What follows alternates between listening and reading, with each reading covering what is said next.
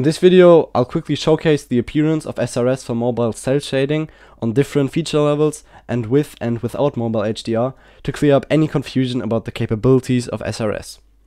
What you can see right now is SRS using shader model 5, um, which is the shader model that is used on PCs and consoles like PS4 or Xbox One.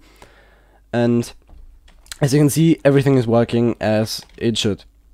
Now if we switch over to the feature level of Android, Android ES 3.1, that is also used on the Quest 2 for example, uh, you can see that everything is still working as intended. You can see that the outlines are still being drawn, every object is being cel shaded, translucent objects work, and if we go in game you'll also see that the dynamic shadow system still works.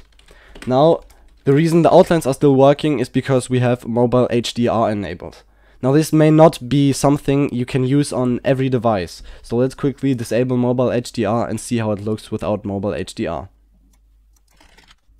Now with mobile HDR disabled, everything still looks pretty much the same. You'll notice that everything has become a little bit darker. This is because due to mobile HDR being disabled, the exposure settings that were in the post-process actor and regulated the brightness of our scene um, have now been disabled and we'd have to adjust the brightness of our objects for everything to still look just as we wanted with mobile HDR. On the sphere right here, you can see that there are no highlights and no rim lights. This is simply because the color of this material is set to a complete white and if we simply make this a bit darker, you'll see that all the effects appear as intended. Also, if we go in game and walk into the shadow, you'll see that the shadow manager system still works. You'll notice, however, that the outlines aren't working. This is because in this scene, the only outlines that were used were post-process outlines. Due to having mobile HDR disabled, post-process outlines won't work anymore.